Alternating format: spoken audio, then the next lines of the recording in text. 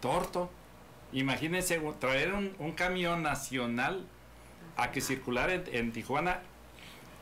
Entonces, ya lo comentamos. Y Carlos, platica lo que venden ustedes y, cómo lo consiguen. Sí, y digo, y aquí lo, lo heroico lo, lo, lo, grandioso que hay que remarcar es que en aquel tiempo la rumorosa no es lo que conocemos. Entonces, traer mercancías del sur era muy difícil, por eso las mercancías venían de California. Este, eh, el, don Timoteo, don Timo, que lo conocemos ahí en el mercado, fue el, que se aventuró a traer mercancía del sur realmente. Y, y pues de ahí nos forjó el camino a todos los demás comerciantes y es como han estado llegando. A eso llegamos a la artesanía.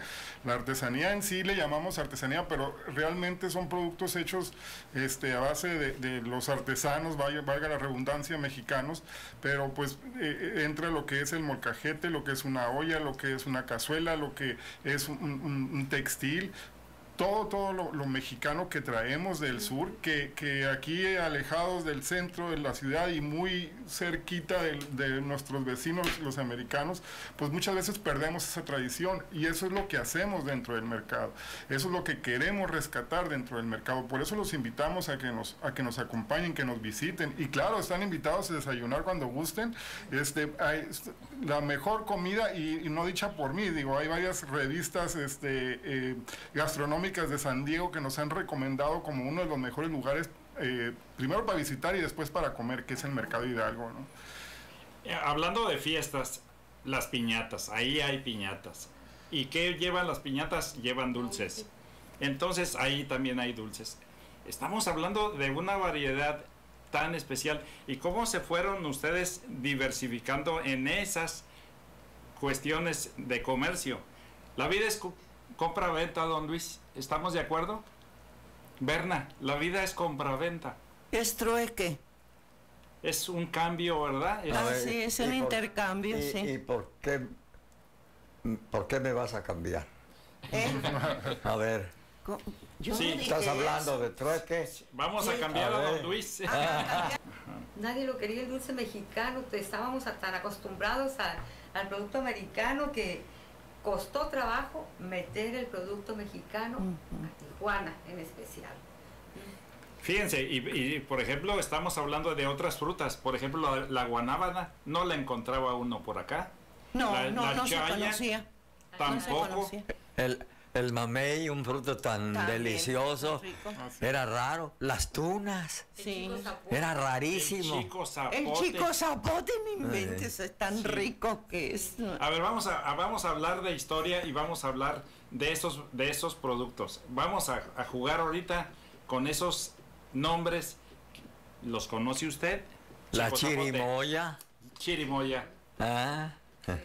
¿Cuál otra viene a tu mente? Eh aparte de la chirimoya, la pitaya. Pitaya. Tenemos la ciruela. La, ciruela. el guamúchil. Guamúchiles, eh, higos.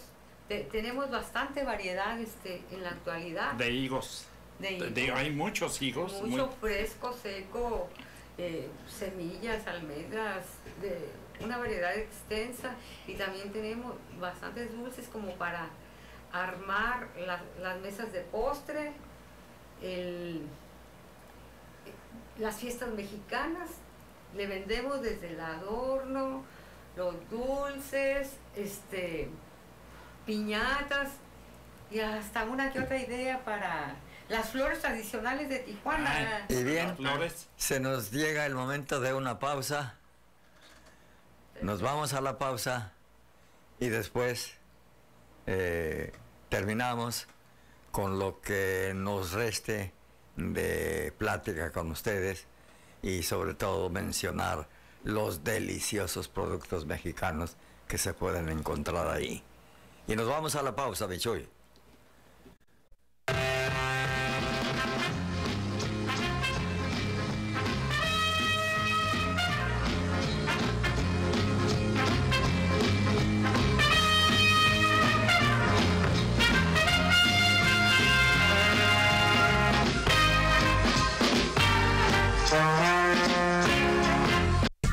Vida diaria, que Dios te acompañe. Si lo que necesitas es un calzado seguro, confortable y especial para diabéticos, Zapatería 3B y Dios ponen a tu alcance diversos diseños que te ayudarán en tu diario caminar. Calzado para diabéticos ya está disponible para ti. Disfrútalo y que Dios te acompañe. El gobierno del estado siempre está buscando ofrecer mejores oportunidades para todos. Prueba de ello es la construcción de la conexión vial Barcelona del Prado en Tijuana, obra que impulsará el desarrollo de esta zona. Además, con una inversión de 200 millones de pesos, trabajamos para que tengamos mejores calles en 29 colonias del estado, lo que equivale en promedio a 28 kilómetros. Con ello, lograremos que más de 83 mil habitantes lleguen seguros a sus hogares. Gobierno del Estado. Las familias saben y saben bien que nada mejor para darle gusto al paladar que la rica comida mexicana que caracteriza al restaurante La Tradición en Plaza Santa Cecilia. A pedir de boca su especialidad, los molcajetes, rajitas de res, camarones, chorizo, cebollitas, nopalitos y guacamole. Además, otra rica especialidad, quesadillas con marlin con un sabor de maravilla. La tradición en Plaza Santa Cecilia, entrando a mano derecha por Revolución y Primera. En tu vida diaria, que Dios te acompañe. El casado casual que hará más fácil tu trabajo diario ya está en Zapatería 3B y Dios. Si estás en la cocina, que Dios te acompañe. Si prefieres deporte, que Dios te acompañe. Si estás en la oficina, que Dios te acompañe. Elige el modelo que más te guste y calza como Dios manda.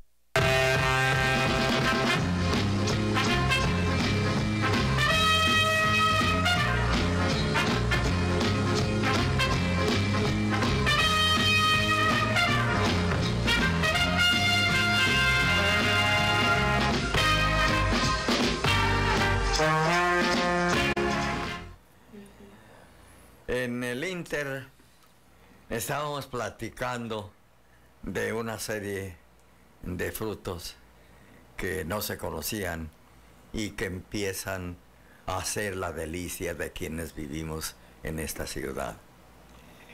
Ya eh, la señora nos habrá de recordar algunos de los frutos eh, que hemos estado mencionando y que vale la pena conocer. ¿Por qué? Si no los conoce usted, no conoce las delicias del campo mexicano. Adelante, Pepe. Fíjense nada más qué cantidad de nombres esca- escapan a la memoria de nosotros. Pero en el Inter estábamos comentando con don Luis Franco Prado de que el arrayán, que el chico zapote, Mamey. que el mamey, que el mamey negro, que en fin. Inclusive la papaya. La, papaya, también. La sí. papaya no había papayas por acá. No. No. Entonces, ¿qué otros nombres vienen a su mente? Eh, Vamos a ir a desayunar, ya nos dijeron, ¿eh? Claro, están cordialmente invitados. No, en bueno, entonces suelta, suelta, Luis, este. eh, eh, el agua de fruta, El agua. ¿Qué es tan Naturales peculiar? Al día. ¿qué productos se incluyen en la preparación del agua de frutas, que es un deleite para chicos y grandes? Hay algunas que inclusive es- es una mezcla de, de frutas. Por eso, eh, allá va mi pregunta. ¿Cuáles son los productos o las frutas que se incluyen en la preparación del agua de fruta?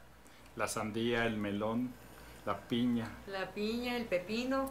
el eh, pepino. ajá, eh, hay agua de avena también. De Cebada. De cebada, de arroz, que son de las más tradicionales, la cebada y el arroz. Ahora, yo acabo de ir al Mercado Hidalgo. Ajá. Pero para mí, este, algo muy importante como curandera dedicada a estas cuestiones medicinales y eso, pues acabo de ir a comprar unas hierbas para uno de mis pacientes. O sea, eso no existía en Tijuana tampoco. O sea, la No. venta de hierbas medicinales. Conocíamos las locales, ¿verdad? Pero, pero las medicinales, como el, el este, eh, tlachichinoli, como o sea, hierbas que se usan para curar allá en el centro y en el sur de México y ahora ya las tenemos en Tijuana. Pues es precisamente el momento, don Luis, de que traemos inclusive muchas imágenes. Para la próxima semana, si a usted así lo permite, se puede ubicar uno por qué le llamaron Mercado Hidalgo, cómo se fueron ubicando en esa zona tan especial, porque es toda una manzana. Sí. En fin, cómo esa visión de historia de familias nos lleva a los padres y abuelos de los aquí presentes. Es muy importante eh, que se haga un nuevo programa eh, apoyado con imágenes, porque forzosamente debe existir una serie de imágenes de cada una de las épocas en la historia del mercado. Y eso nos va a ir dando una idea más cabal del esfuerzo que hicieron los creadores del mercado Hidalgo a partir de que, como lo expresaban ustedes, eh, se estableció en la Coahuila. El proceso que se ha seguido por etapas ha apoyado con imágenes sobre la historia del mercado Hidalgo hasta nuestros días. Pues bien, quiero por último en este jaque a la historia mencionar a don Manuel García Lugo. Curiosamente todos lo conocían por el señor Lugo, Así es. pero es Manuel García Lugo. Manuel García Lugo. Es también un honorable iniciador de ese proceso de trabajo y demás. Le mandamos saludos a su familia. Claro, a sus, Claro. a sus hijos. Todos Este, son profesionales. todos son Mi profesionistas. ¿Tus Mi padrinos? padrino de bodas. Ah, fíjate. Sí. Qué, qué bonitos doña detalles. Quiero comentarle, Bernardina y Luis, que Elodia hacía 40 años que no la veía. Sí. Era alumna, era alumna igual que yo en la primaria y secundaria la en la escuela 5 de mayo. Compañera de aquellos ayeres. Me da mucho gusto verte. Gracias. Pues con ello nos comprometemos a la próxima semana. Claro que sí, nada más si me das oportunidad, Claro. me gustaría invitarlos a, a- a nuestros festejos que, que se van a realizar el 15, 16 y 17 de octubre ahí en las instalaciones del Mercado Hidalgo. Tenemos el 15, tenemos un, un- un evento gastronómico denominado Lucha de Cazuelas, que, que se dice eh, por ahí una leyenda eh, o una, una persona muy, muy importante dentro de la gastronomía de Baja California dice, cualquier cocina, la más eh, eh, pequeña hasta la más grande, eh, o la más, eh, eh, sí, la más pequeña hasta la más grande, todo empieza en el mercado Hidalgo. De aquí empieza cualquier cocina de cualquier chef de, de Baja California. Entonces, de eso se trata, se trata de, de, eh, un concurso de, de gastronómico tanto para amas de casa, que le, le denominamos amateur, como para profesionales. Y el, el 16 de octubre tenemos un concierto, concierto baile, para que vengan a bailar con nosotros. Órale, ya con, vas. con- con el grupo Cañaveral. El, el grupo Cañaveral ahí dentro de las instalaciones este y, y viene viene con ellos un grupo invitado eh, que se llama Jenny and the Mexicats que es para un, un- un público más joven no Voy a ponerles una condición para eh, acompañarlos a la hora del baile. a ver Una persona que recoja la polilla. ah, Ahora, yo acepto la invitación con una condición. no. a ver Si va a haber mole negro de Oaxaca. Mole Negro de Oaxaca, pues ahí Ay. tenemos, tenemos de hecho uno de los, sí, no, y tenemos uno de los mejores, a- a- hay un, hay un negocio que se llama La Oaxaqueña que tiene la fama de que vende los mejores móviles. Ahora tengo una queja a también. ver, Fui el otro día al, el este, al, al mercado y no encontré pipián. qué raro. Y tengo ganas de pipián. ¿Eh? De modo que- De- ah, debe de existir, debe de haber quien lo tenga. De, de hecho. Bueno, yo les voy a pedir un mole de olla. muy bien, Órale, ya muy bien. Pero como es con, Con choconostle. con ajo con nostle, en fin. Muy bien. ok. Pero en fin, bueno, ay, ay, ay, Pepe. eh, Pues ya nos- ya no es jaque a la historia, es jaque al estómago. Y qué- curioso que cuando uno va al mercado Hidalgo, a lo que va, va. no anda con medias tazas a ver qué escoge. No, ya sabe que vaya a comprar esto y ya sabe